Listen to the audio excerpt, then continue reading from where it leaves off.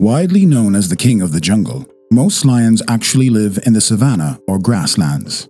Nowadays, only a small population of forest dwelling lions remain in Gir National Park, India. Lions are not the biggest or strongest animal either, but the fact is, the king doesn't need to be the strongest. Just think about your family and who has to do the dishes at the end of the day. Well, you get the idea. Excuse me? But then, how come lions have been crowned king of the jungle while they're not living in the jungle? To answer this question, first let's take a look at their appearance. The most common depiction of the king of the jungle is this a male lion standing proudly with his magnificent mane cascading over his shoulders. Have you ever seen the majestic Mufasa in Disney's famous movie? In reality, a male lion's mane makes it extremely difficult for his opponents to seize him and suffocate or shatter his neck.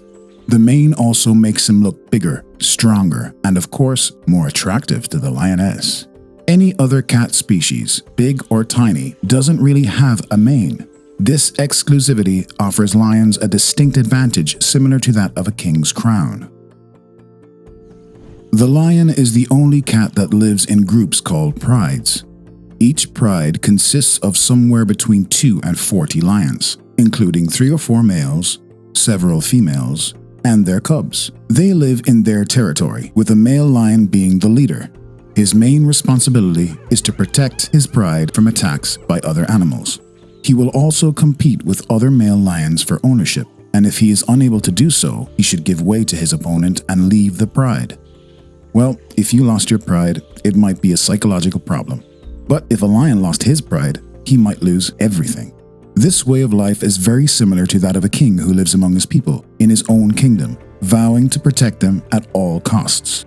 And when he falls, a new king will rise. It's a Game of Thrones. Let us now see the tiger.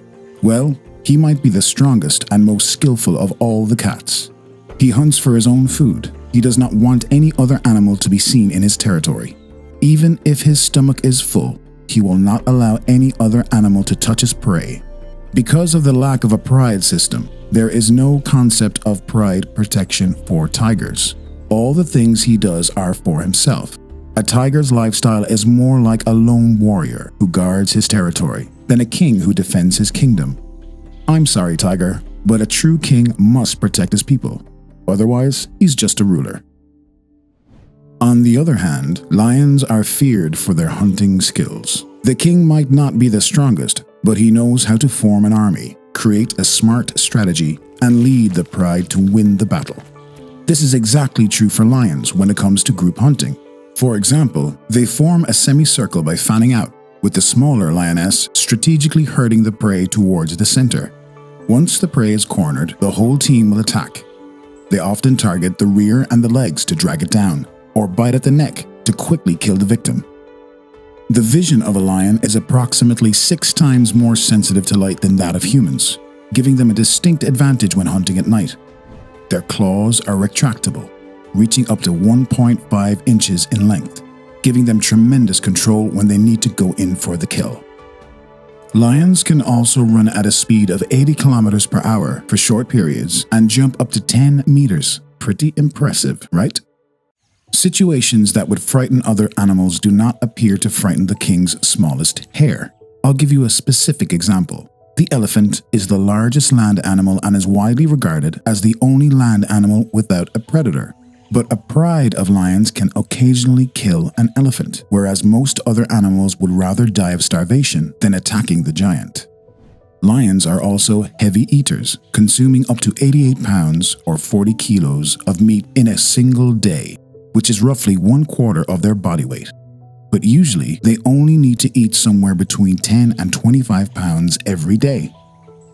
Although females do most of the hunting, male lions will eat first at a kill, while the lioness and the cubs will wait their turn.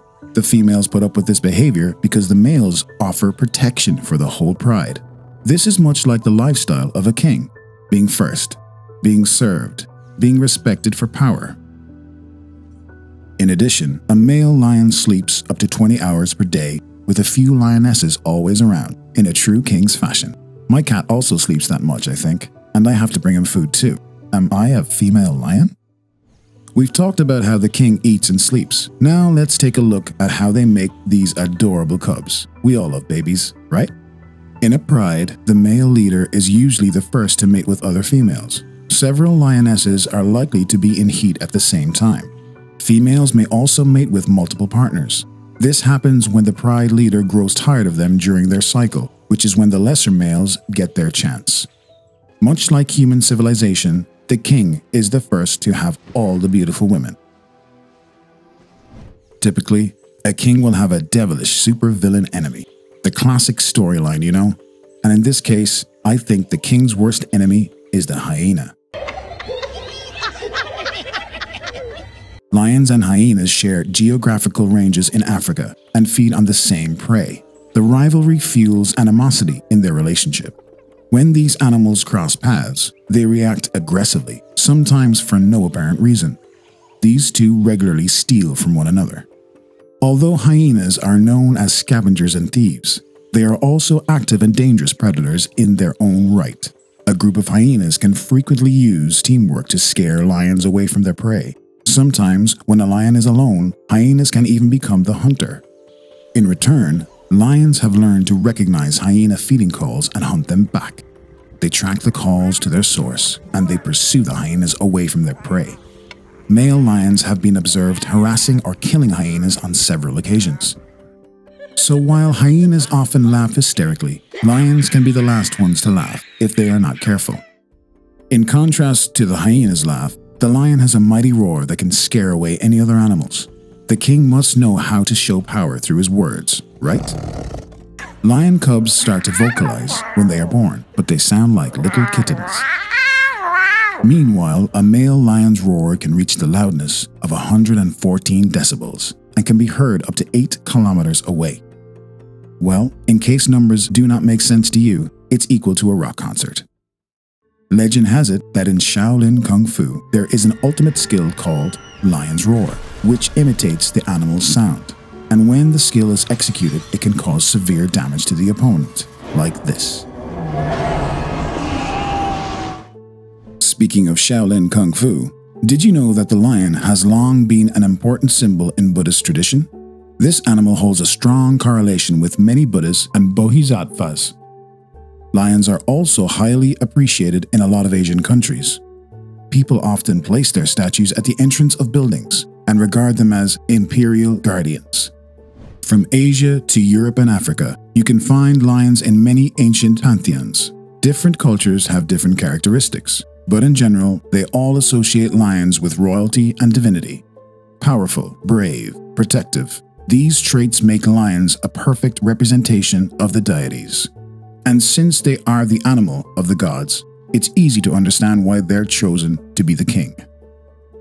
From ancient times to the modern era, their image has been used in various emblems and logos to show strength, authority, and wisdom.